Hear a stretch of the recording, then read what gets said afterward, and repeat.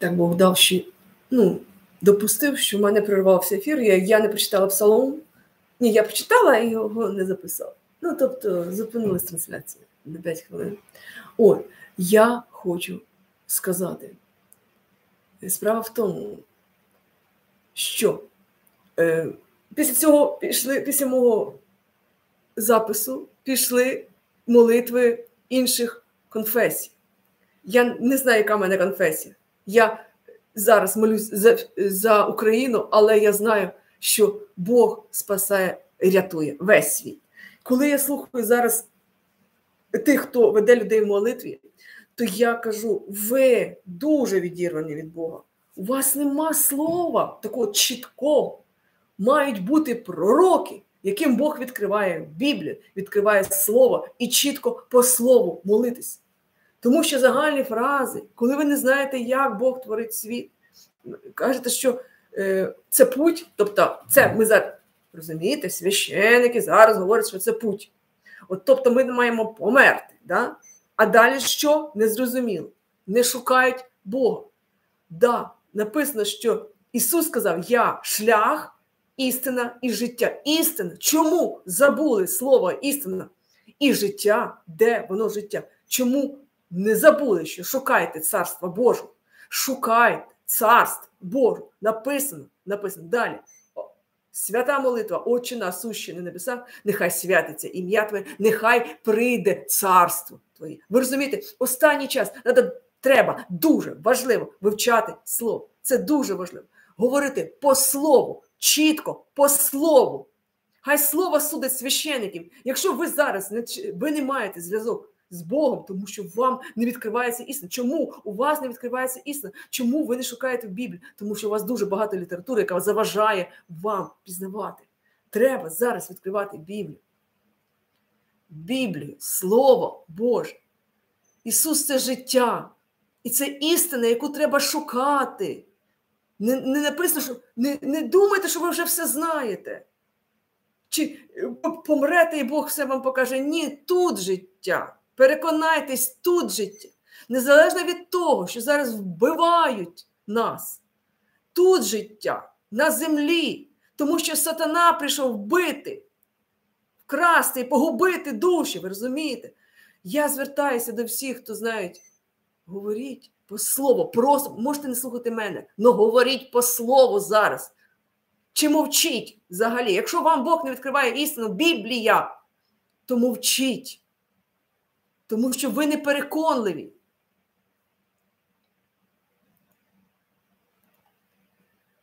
Розділ 34 псалом.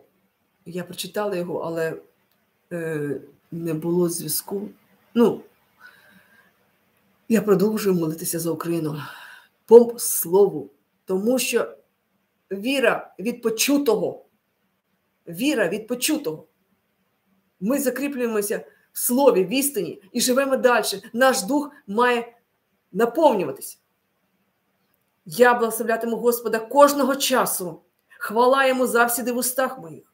Душа моя буде хвалитися Господом. Хай це почують слухняні, і нехай звеселяться. Зо мною звеличуйте Господа і підносити ім'я Його разом. Шукав я Бог Господа, і Він озвався до мене, і від усіх небезпек мене визволив. Приглядайтесь до нього і засяєте, і не посоромляться ваші обличчя. Цей убогий взивав, і Господь його вислухав, і від усіх його бід його визволив. Ангел Господній табором стає кругом тих, хто боїться його і визволює їх. Скуштуйте і побачте, який добрий Господь, блаженна людина, що надію на нього кладе. Бійтеся Господа.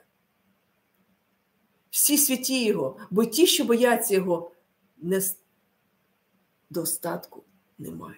Левчуки бідні, голодні, а ті, хто пошукує Господа, недостатку не чують в усьому добрі.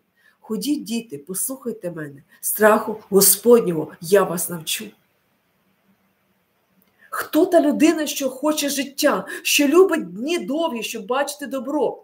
Свого язика бережи від лихого, а уста свої від говорення підступу. Відступися від злого і добре чини, миру шукай і женися за ним. Очі Господні на праведних, уші ж його на їхній зойк. Господнє лице на злочинців, щоб винищити їхню пам'ять із землі. Коли праведні кличуть, то їх чує Господь, і з усіх утисків їх їх висловлює, визволює їх. Господь зламоносердним близький і впокорених духом спасає. Багато лихого для праведного, та його визволяє Господь з них усіх. Він пильнує всі кості його, і з них жодна не зламається. Зло безбожному смерть заподіє, і винними будуть усі, хто ненавидить праведного. Господь визволить душу рабів своїх, і винні не будуть усі, хто вдається до нього. Я вчора слухала, як говорили про росіян деякі політологи, що в них нема нічого цінного, так? Вони знищують і роддома, і школи, і садочки, і церкви. Говорять, палають церкви. Ви знаєте, е, давно спостерігали, як, яка кара приходила на людей, які за радянської влади е, нахабно знищували церкви. І спостерігали люди, які у тих людей був страшний кінець, як вони мучилися, яка кара приходила на те, хто посягав на храм Божий. От, і я хочу сказати, що е, справа в тому, що, здається, фашисти не розрушували храми. В них якась була інформація про це. От, а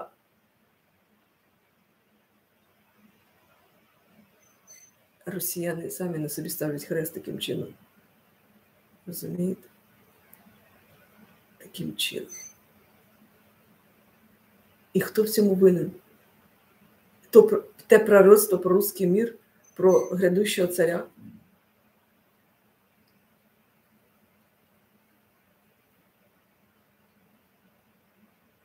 Кажуть, що Путін дав наказ знищувати Харків, руйнувати його і бомбити.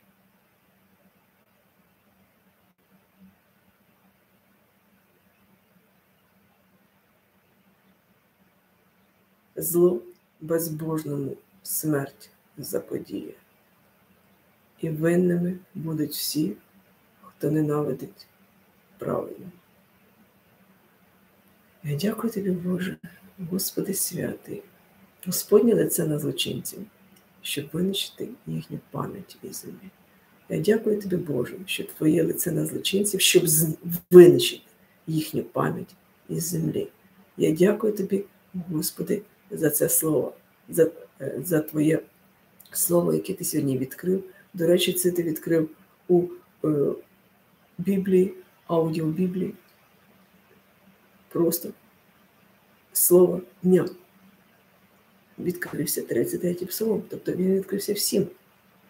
Всі, хто підписаний на цей сайт, можуть зрозуміти, що сьогодні Бог говорить на сьогоднішній день.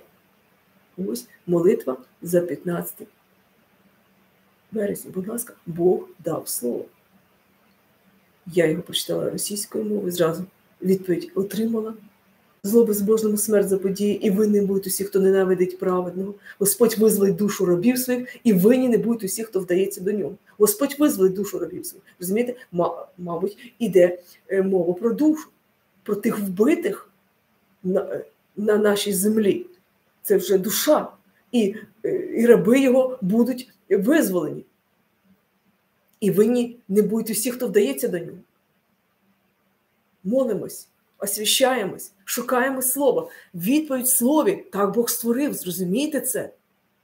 Нам зараз розказують неправду.